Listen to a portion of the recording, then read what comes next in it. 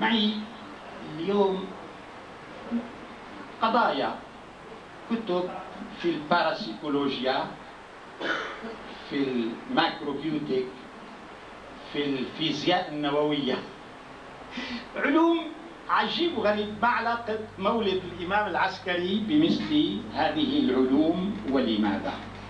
ويبدو أن هذا التطبيق التطبيق الكشفي أو الشعوري عند الإمام العسكري هو ما سيكون علم المستقبل.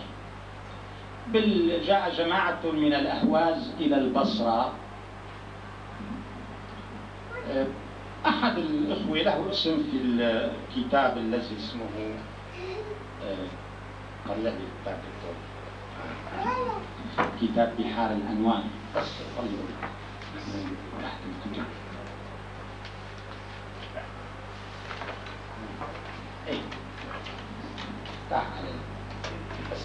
اسم الشخص من كتاب الدلائل علي بن محمد بن الحسن. يقول إنه كان وافد جماعة من الأهواز من أصحابنا وكنت معهم وخرج السلطان إلى صاحب البصرة فخرجنا لننظر إلى أبي محمد. فنظرنا إليه ماضيا معه وقعدنا بين الحائطين بالسر من رأى. ننظر رجوعه فرجع.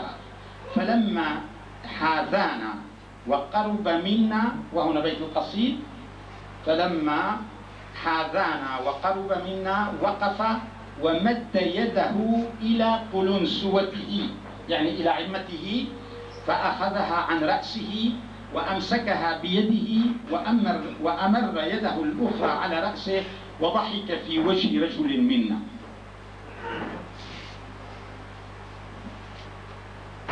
فقال الرجل مبادرا أشهد أنك حجة الله وخيرته. فقلنا يا هذا ما شأنك؟ قال كنت شاكا فيه. فقلت في نفسي إن رجع وأخذ القلنسو عن رأسه قلت بإمامته. شو صار؟ صار إنه إذا بدنا نقرأ كتب الديمقراطية مثل جيسكار ديستان بدنا نقرأ علم النفس الحاسة السادسة بالكتابة الأمريكية كيف ينظرون إلى الباراسيكولوجيا الأمريكية. بدنا نقرا الخطر الصهيوني بروتوكولات حكماء صهيون بدنا نقرا بيروسترويكا كورباتشوف بدنا نقرا الكارما لتغيير المستقبل لميخائيل آخر هو ميلاد هذه الكتب جميعا تشرح لنا بعلومها موقف الإمام العسكري هذا. هذا وجه وجه القضية يعني عندي إنه الرواية رواية. لكن من يستطيع الآن أن يفعل فعل الحسن العسكري؟ حسن العسكري كل شيء عاش ما عاش قد نوح ولا عاش مثل لقمان عاش 29 عام أو 28 عام. لذلك أنا في اليوم أسميه إمام الشباب. يعني لا يفكروا إنه صار قضية تراثية. هو إمام الشباب وإمام المستقبل الحسن العسكري. ما معنى هذه القضية؟ القضية دارت في رأس سيد من السادة كلام. خطر اشترط على الإمام العسكري شرطا. إنه إذا كان هو الإمام الحقيقي بيرجع لعندنا وبيحط بيشيل القلنسوة على رأسه ويضع فرجع خطوة إلى الوراء وأخذ العمة عن رأسه الشريف وحط وضع يده هيك وابتسم للرجل فشهد له. نعم الذي يعرف الخواطر إلى هذه الدرجة. هل الآن قديش عم عم تسفك أموال في في الفضائيات العالمية؟ من أجل ماذا؟ من أجل الرأي والرأي الآخر الرأي والرأي المعاكس من أجل الإقناع. لنا نحن الآن في من منذ ميلاد المسيح إلى الآن ومنذ إبراهيم إلى الآن لا نستطيع في بيت إبراهيم أن نقنع الناس بعضهم ببعض. إلى الآن ما استطاع الإخوة اليهود أن يعترفوا بالمسيح وإلى الآن ما استطاع الإخوة المسيحيون أن يدركوا تماما ما معنى الإسلام. وإلى الآن المسلمون في فرقهم وطرقهم لا يعرفون إذا كانوا آه، كلهم بقولهم أشهد أن لا إله إلا الله وأشهد أن محمدا رسول الله. لا يعرفون إذا كانوا متفقين أو غير متفقين. الامام العسكري لذلك أن الإمام العسكري إمام الشباب وإمام المستقبل مرة واحدة دار في بالك أمر. رأسا نزل عند رأيك أنت عم بتقول إذا كان هذا الإمام العسكري هو الإمام فعلا يعرف شو عم فكر أنا. ويرجع له خطوتين إلى الوراء ويرفع القلنسوة تبعه أو العمة ويحط يده على رأسه. فالتقط براداره الفكري. إيه؟ كم مرة قلت لي صوت صوت. من وقت ما بدأت إلى الآن وما عم بيزبط معي صوت صوت. بدكم إياني كيف صبت المذياع أما إذا كان أعطاني الموبايل تبعه دكتور غانم ورن الموبايل من الصين. بيرسم لي إنه هذا اللي عم بيتكلم من الصين فلان أو رسم من أمريكا.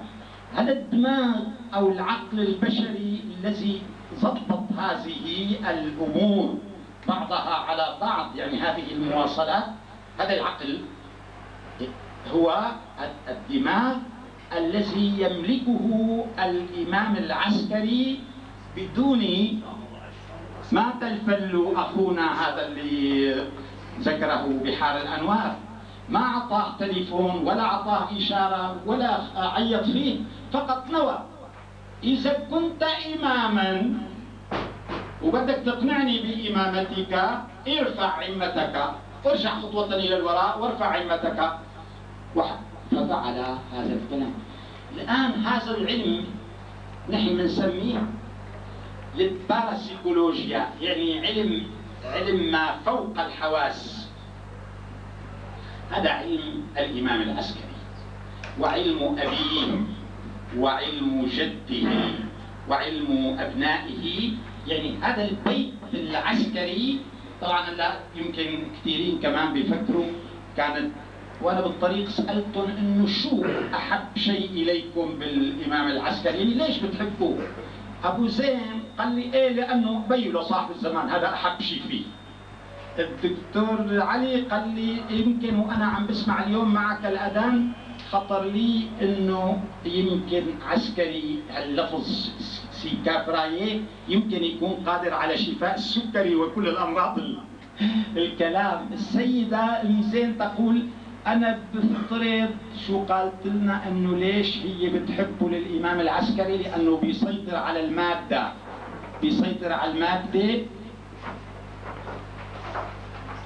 طبعا لما نقول بيسيطر على المادة بنتذكر سلام ورحمة الله أهلا وسهلا.